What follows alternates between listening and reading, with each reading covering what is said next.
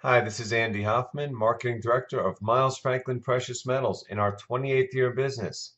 It's Thursday morning, July 6, 2017, and the title of this, my 200th audio blog, is America's Monetary Fate Reduced to Idiosyncrasies.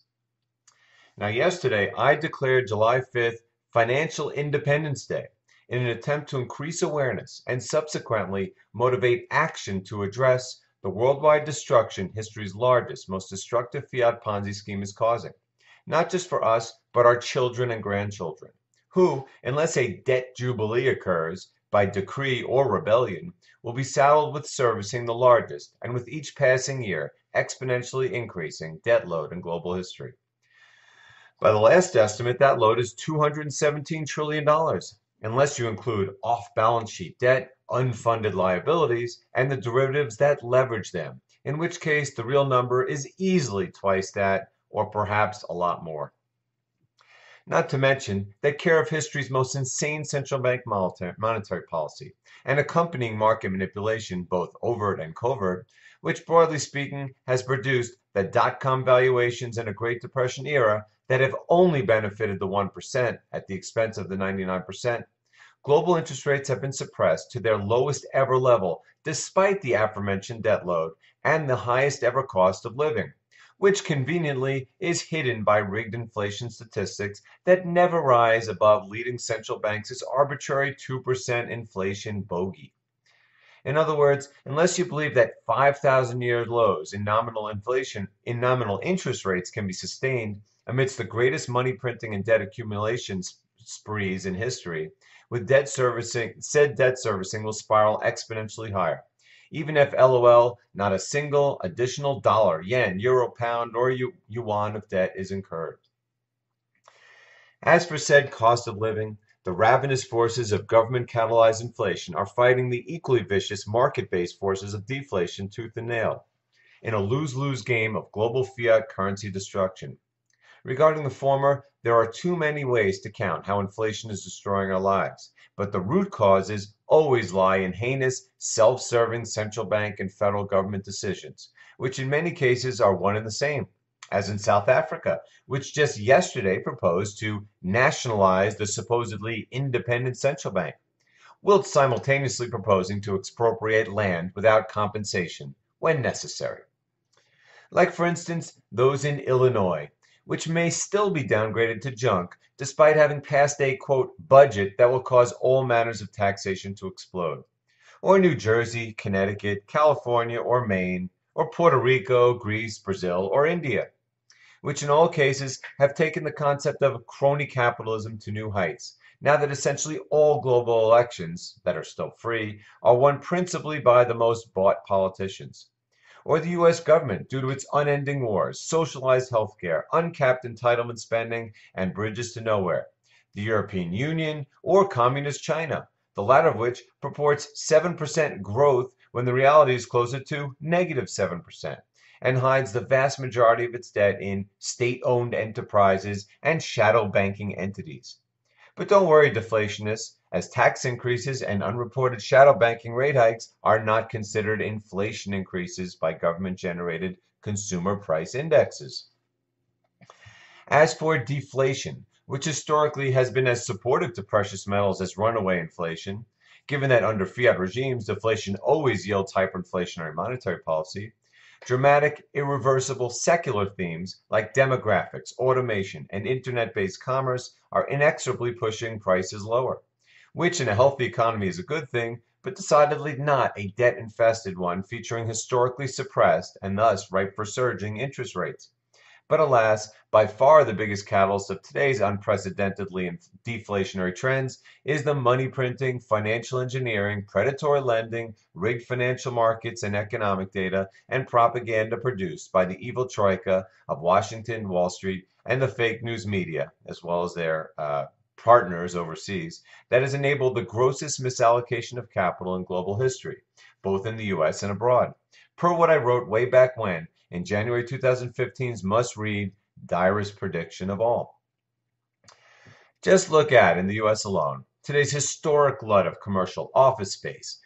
retail locations, automobile inventories, not to mention on a global basis the inventories of nearly all commodities, from crude oil to copper to corn, resulting in a CRB index below that of the lows of 2009. To that end, if central banks had just let natural economic forces play out following when following when said fiat Ponzi peaked in 2000 and broke in 2008, the damage would have been substantial but manageable and reversible. However, by attempting to usurp economic Mother Nature's laws, by printing limitless currency units, manipulating interest rates in financial markets, and destroying reality barometers like actual economic data and precious metal prices, they have created the most massive oversupply condition in history of commodities, infrastructure of all kinds, debt, which is about to run up against an historically contentious debt ceiling debate, and destructive, counterproductive governments themselves which can only be sustained by additional money printing and financial asset inflation. Assuming confidence in this, history's largest, most destructive fiat Ponzi scheme isn't lost, as unfortunately has been the case with all thousand plus fiat Ponzi's throughout history. As for the world's last remaining, but rapidly declining, superpower, its transforma transformation toward the realm of second world banana republic has been as rapid in speed as dramatic in scope from the internal wars occurring within its leading political parties, both of whom are at war with the president, to the explosion of fake news dissemination and the witch hunt for the real news that is purported to be fake, political dystopia has reached levels never before witnessed in U.S. history.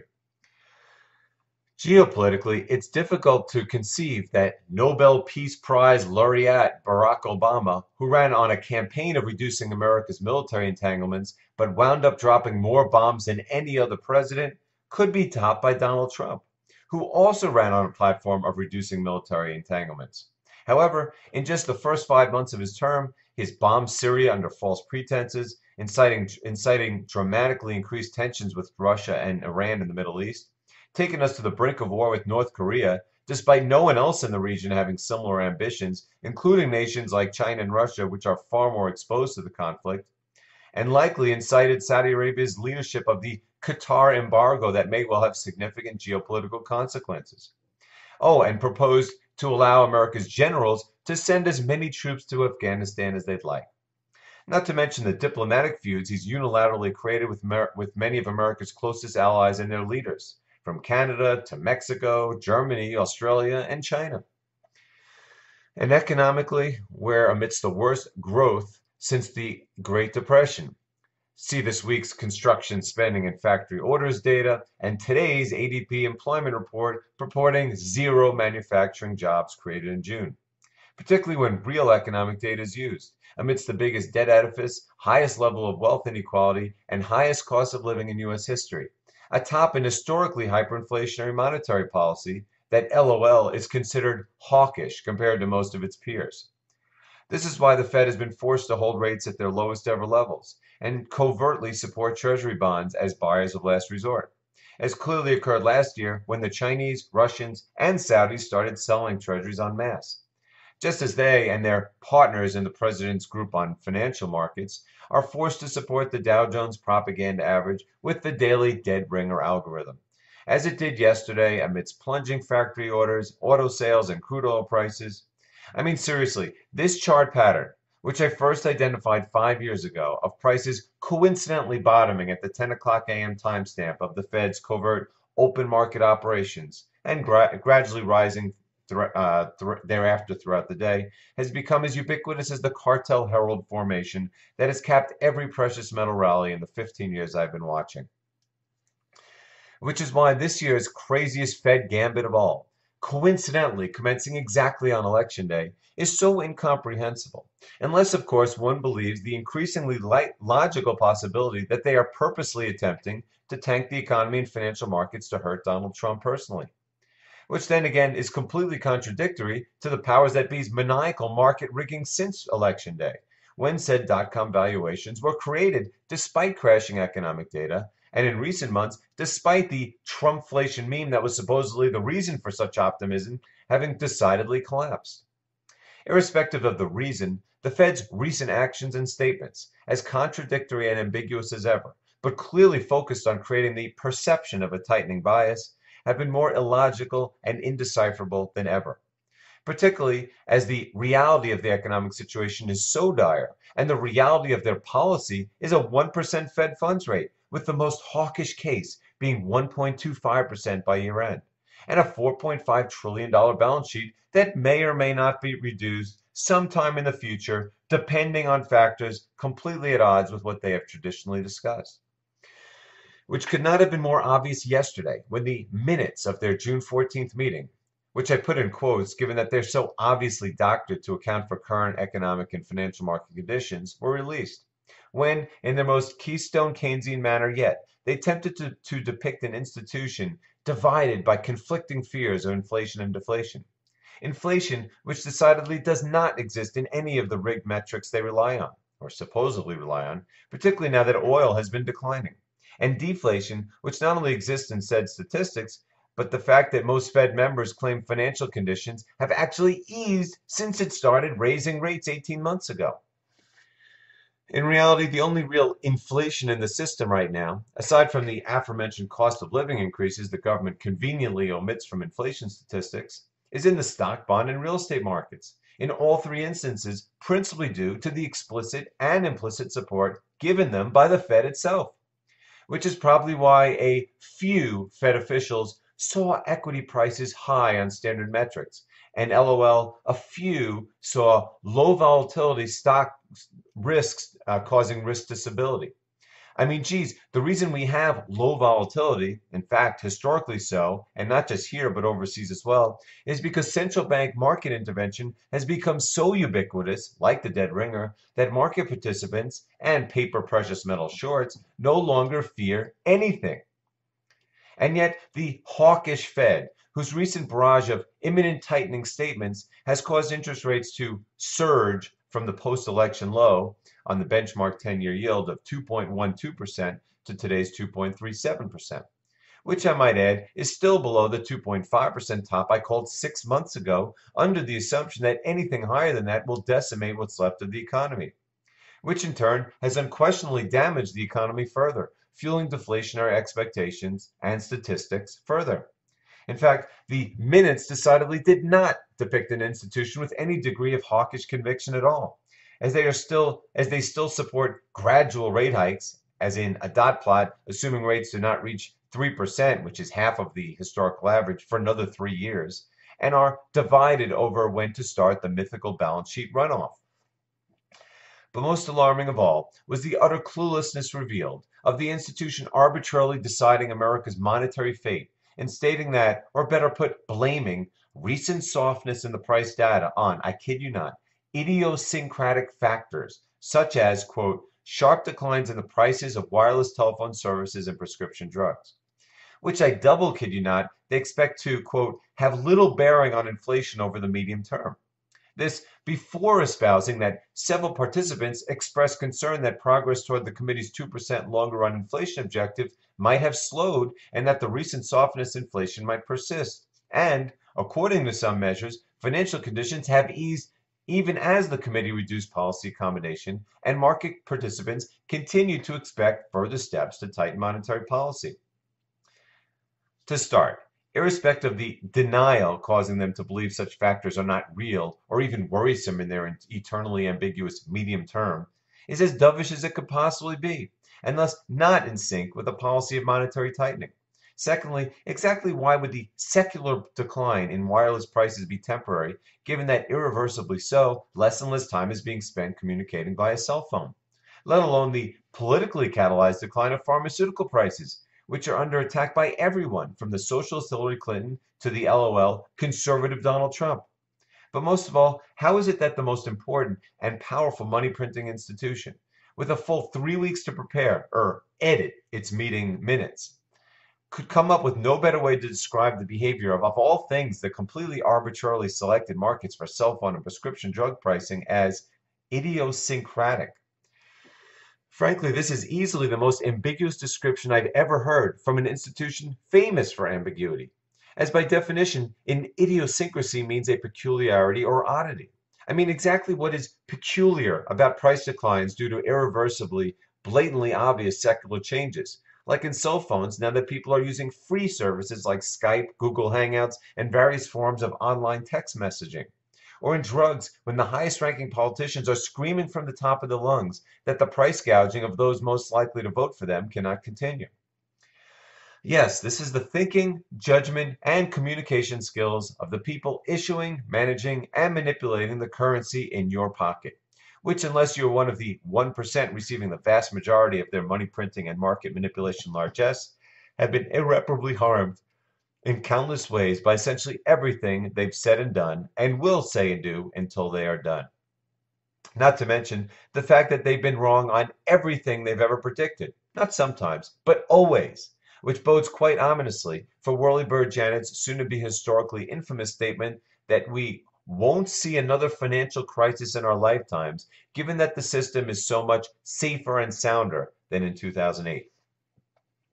Thus, whilst fighting the Fed has been painful in recent years, principally due to the covert market manipulation supporting their statements, it has always been the wisest long term course to bet against them and all other central banks particularly as now history's largest, most destructive, and for the first time global fiat Ponzi scheme is clearly in its terminal malignant phase. As evidenced by the aforementioned debt parabola, serially collapsing currencies, imploding global economy, and the exploding political tension and social unrest resulting from the historic wealth inequality caused by central banks' hyperinflationary response to the unprecedented economic collapse they created. This is why history's best central bank fighting weapons, precious metals, are such an invaluable addition today to your portfolio. As aside from having been driven to their lowest ever inflation adjusted levels, the sentiment created by the relentless post election suppression has gotten so intensely weak, easily the worst I've ever seen. The valuation anomalies that have been created are, for all intents and purposes, unprecedented in U.S. history. Such as, as discussed in my Valuation Anomalies article of two weeks ago, the lowest ever platinum gold ratio, the lowest ever numismatic premiums, and nearly the lowest ever silver gold ratio.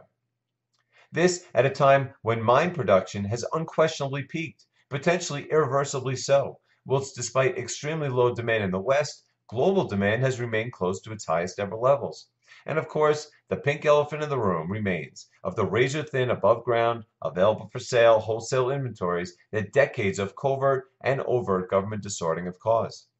Not to mention, the global money printing is at an all-time high without the Fed actively monetizing, at least overtly so, as I assure you it eventually will, given the Ponzi-esque nature of the parabolic debt explosion it has caused. Likely sooner rather than later, given that the global economy is amidst a vicious, accelerating depression, whilst the exploding U.S. debt edifice will shortly spontaneously combust if rates aren't brought back down dramatically and rapidly so.